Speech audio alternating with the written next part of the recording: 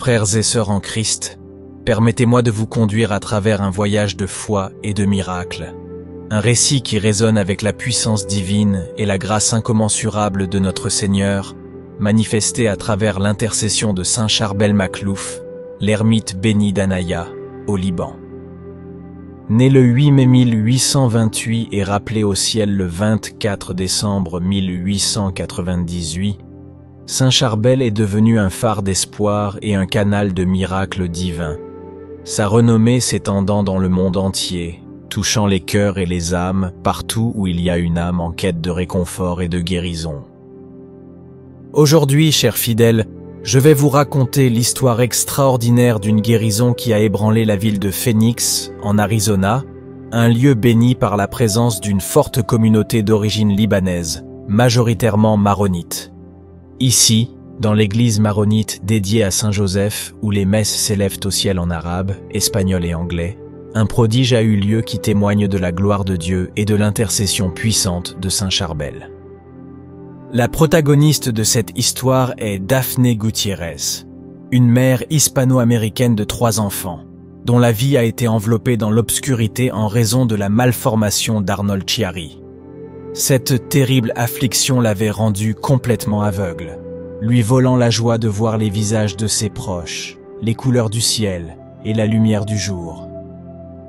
Mais Dieu, dans ses desseins impénétrables, avait prévu pour elle un chemin de foi et de rédemption.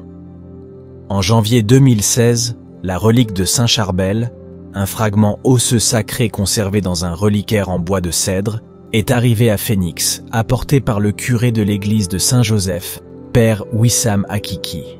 Ce reliquaire, qui avait déjà visité de nombreuses paroisses aux États-Unis, était devenu un symbole tangible de la présence et de la puissance de Saint Charbel. Chers frères et sœurs, écoutez avec un cœur ouvert l'histoire de cette femme, dont la vie a été transformée par une rencontre avec la grâce divine. Daphné qui avait perdu la vue à l'automne 2014 et vivait dans l'obscurité la plus complète, a été encouragée par ses voisins à chercher la guérison à travers la relique de Saint Charbel.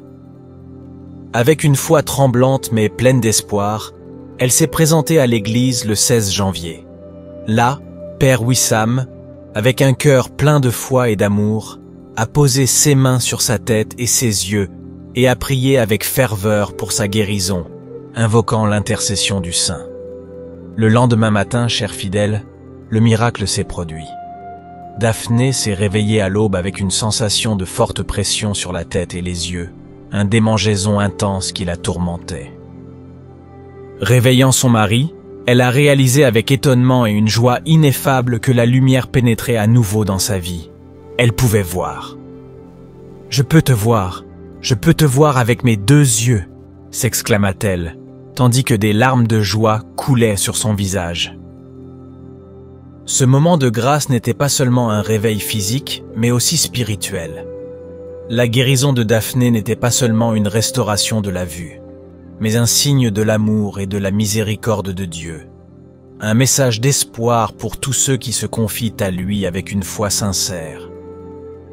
Trois jours plus tard, un examen ophtalmique a confirmé ce qui était clair pour tous. Daphné était guérie, un événement qui dépassait toute explication scientifique, un prodige que seule la main de Dieu pouvait accomplir. Cinq médecins, y compris des ophtalmologistes experts, ont examiné Daphné, restant stupéfaits devant cette guérison inexplicable.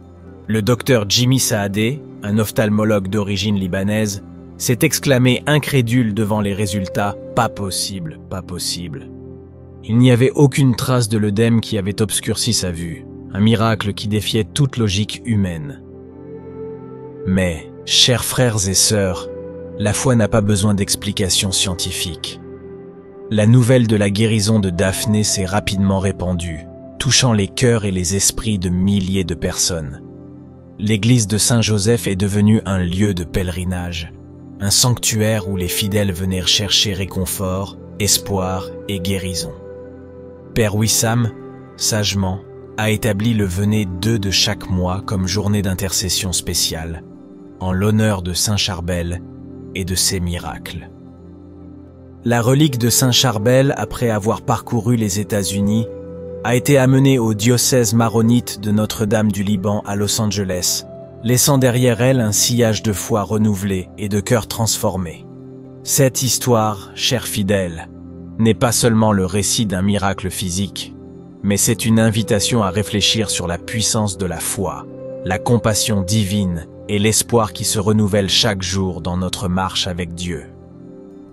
Souvenons-nous toujours que, même dans les moments de plus grande obscurité, la lumière du Christ peut pénétrer et transformer nos vies, tout comme elle l'a fait pour Daphné.